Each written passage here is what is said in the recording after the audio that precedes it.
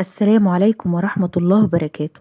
النهاردة إن شاء الله هنعمل المحوجة أو القرصة الصفرة أو اللقمة الصفرة على حسب كل بلد ما بتسميها. حلوة جدا ومغذية. هنعملها بأسهل طريقة ومقادير بسيطة. أي حد يقوم يعملها بكل سهولة. إن شاء الله تعجبكم. يلا مع بعض نشوف هنحضرها إزاي. في البداية معانا المقادير. هنعملها بالكوباية وبالجرامات بس ياريت تعملوها بالجرامات أفضل. هتطلع معاكم نتيجة حلوة جدا. معايا نص كيلو من الدقيق معايا مية خمسة وعشرين جرام من السكر اللي هي تلتين من الكوباية معايا ربع كيلو من العسل الأسود يعني كوباية إلا ربع ومعايا كوباية وربع من الزيت ربع لتر زيت. ممكن تعملوا نص الكمية زيت ونص الكمية سمنة زي ما تحبوا ومعلقة صغيرة من ال baking powder ورشة ملح ومعلقتين كبار من حبة البركة وربع كوباية سمسم محمص معايا مية خمسة وعشرين جرام من التحويجة كوباية وربع اللي هي الحلبة المحوجة بتتجاب من عند العطار وباكو من الفانيليا بتديها ريحة حلوة قوي. هكتب لحضراتكم المقادير بالكوباية والجرامات في صندوق الوصف. أول خطوة معايا إحنا بننخل الدقيق ده دقيق فاخر. هنحط عليه المية خمسة وعشرين جرام التحويجة. ومعلقة صغيرة ال baking powder خمسة جرام. ورشة الملح. وباكو فانيليا. ومعلقتين الكبار حبة البركة. ربع كوباية السمسم المحمص. لو حابين تضيفوا ربع كوباية من جوز الهند ممكن تضيفوها. اللي بيحبها يضيفها. هقلب بقى كل المحتويات الجافة دي مع بعض. كده تمام جهزنا كل المكونات الجافة مع بعض.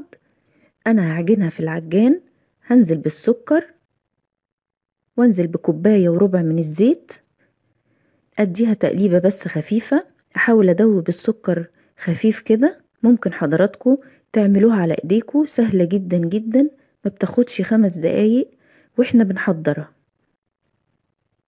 هديها تقليبة كده. أنا بحاول أدوب السكر خفيف كده. وممكن كمان تضيفوا السكر على الدقيق. عادي جدا جدا. كده تمام. أنا بضربه دقيقتين بس. هنزل بالكوباية إلا ربع من العسل الأسود اللي هي ربع كيلو. وهديها تقليبة برضو لحد ما تبدأ تتقل كده معايا. ما تنسوش بقى اللايك واللي ما اشتركش في القناة يشترك ويفعل الجرس. هنزل بالدقيق وأقلب واحدة واحدة. أنا مش عايزة أضرب كتير علشان العجينة ما تعضمش معايا وبعد ما تستوي تبقى ناشفة زي العيش. أنا عايزة كل المكونات تتدخل مع بعض ما نضربش كتير. مجرد ما بننزل كل الدقيق ونلمها بإيدينا أو بالعجان كده ضرب خفيف جدا. مجرد ما اتدخلت مع بعض العجينة معايا هتبقى مفرولة. هو ده القوام اللي بيبقى عليه المحوجة. كده أنا وقفت عجني فيها خلاص. بصوا حضراتكم هتبقى بالشكل ده. هتبقى مفرولة كده معانا مش لما على بعضها هتبقى بالقوام ده. هي كده مظبوطة جدا جدا. هنكون مجهزين الصينية مدهونة بالسمنة أو صاج اللي متوفر عند حضراتكم هنزل بكل المحوجة في الصينية. الصينية هنا أكبر صينية عندي. علشان أنا بحب المحوجة تبقى متوسطة كده ما تبقاش تخينة قوي بتبقى أحسن جدا. بعد ما تستوي بتبقى خفيفة وطعمها حلو قوي. هنزل بكل الكمية وابدأ أفرد فيها كده بإيدي لحد ما أسد كل الفراغات وأملى كل الصينية بيها. هتتفرد معاكم بكل سهولة. وما أخدتش مننا وقت خالص وسهلة جدا. بعد ما اتفردت معايا كده هجيب معلقة من الزيت كبيرة كده وأرشها على الوش وأبدأ أساوي كده بإيدي هلاقي وشها ناعم معايا ومفهوش أي فراغات معلقة الزيت دي بتفرد حلو جدا وبتخلي الوش كله متساوي. كده بعد ما سويتها خلاص هبدأ بالسكينة بقى وأقطعها. التقطيعة اللي حضراتكم تحبوها بس لازم نقطعها الأول قبل ما ندخلها الفرن علشان لما نيجي نخرجها مجرد ما نمشي بس على التقطيعة اللي إحنا قطعناها تخرج معانا بكل سهولة من الصينية. أنا هقطع خطوط طولية كده. أي تقطيعة تحبوا تقطعوها قطعوها. هعمل خطوط طولية وبعد كده هعملها بالعرض علشان تطلع معايا مربعات صغيرة. تعملوها بقى حجم كبير حجم صغير الحجم اللي حضراتكم بتحبوه اعملوا بيه. هاجي كده من النص وأعمل خط برضو. وأرجع أعمل خطوط طولية. علشان تبقى مربعات معايا. هنكون مسخنين الفرن عشر دقايق على درجة حرارة مية وسبعين. هدخلها في الرف اللي في النص. هتاخد في حدود معايا تلاتين لأربعين دقيقة حسب الفرن عند حضراتكم.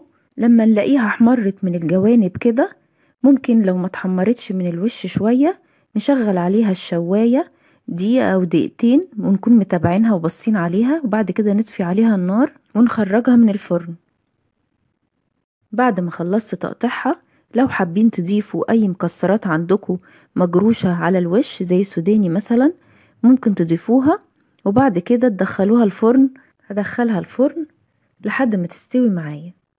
بعد ما استوت وخرجتها بقت بالشكل ده أنا هسيبها تهدى خمس دقايق كده وبعد كده هبدأ أقطع فيها تاني مكان التقطيع اللي أنا قطعتها الأول. علشان لما أجي أخرجها من الصينية تخرج معايا بكل سهولة وما تتفتفتش مننا.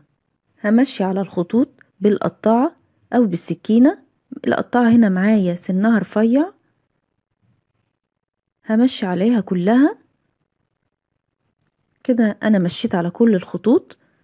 هتبقى سهلة جدا كده إن أنا أخرجها. من غير ما تتفتفت مننا. بصوا حضراتكم. طالعة حلوة جدا جدا. مستوية حلو جدا جدا. ما تتخيلوش حضراتكم طعمها حلو قد إيه. ومتحمرة كمان من تحت. طالعة روعة. اعملوها في البيت. حلوة جدا جدا للأولاد ومغذية ليهم. مع دخول الشتاء بتدفي جدا. يا رب أكون أفدت حضراتكم. ولو عجبكم الفيديو ما تنسوش تضغطوا لايك وتشتركوا في القناة. وتفعلوا الجرس علشان يوصلكوا كل فيديوهاتي. والسلام عليكم ورحمة الله وبركاته.